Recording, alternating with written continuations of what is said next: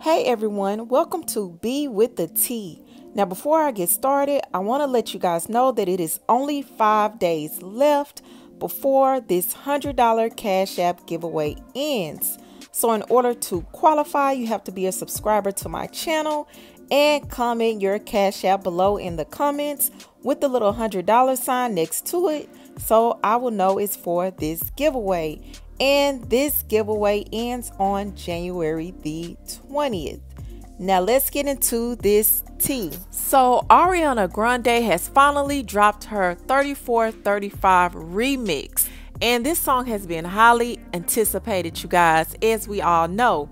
Now, the two mystery women who were featured on this song were, as we were guessing, Doja Cat and Megan Thee Stallion. Now, I listened to the song. I love the song. Now, Doja Cat, in my opinion, ate. She was actually my favorite on this album, and I'm not even a huge Doja Cat fan, but I can't even lie, the girl got real talent. And Megan also did her thing. Now, I know it was people worried about Megan being this one, two, three basic rapper. But I believe in this song, she really did a lot better. I mean, she kind of gave me more so her Tina Snow vibes. Now, if y'all been following Megan, y'all know about Tina Snow. And I felt a little bit of that coming back with this song. Now, it was a lot of people who actually loved the song as I did, but there were other people who really didn't care too much for the remix.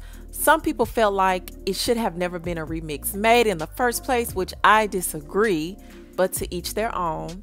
And of course, some people had a lot to say about Megan because I guess in 2021 it's the Megan hate train. I don't know what exactly happened with Megan and her fans because she used to have a lot of support, but it's like now everyone loves to hate Meg. But let's take a look and see what people felt about this song. So, Barb's fan account said Megan ruined the remix. Now, y'all know the Barb's been feeling some type of way ever since they found out that Nikki was not going to be on this remix. So, that really doesn't surprise me. No offense, I love Nikki, but yes, the Barb's have been feeling some type of way. And this person said, I honestly expected something better, like I barely made it through listening once. I'll definitely stick to the original. And another person stated, Doja ate, but for now, Megan's first is gonna have to grow on me. And Deshaun said Megan did a really great job of showing her versatility on this remix while holding true to her signature sound. Doja continues to excel at her just killed a remix feature streak. They both slid. I like this. I agree with you, Deshaun. But I would really like to know what you guys think of this 3435 remix. I want you guys to leave your comments below. Now, do you think Megan ate? Do y'all think she did her thing with this verse?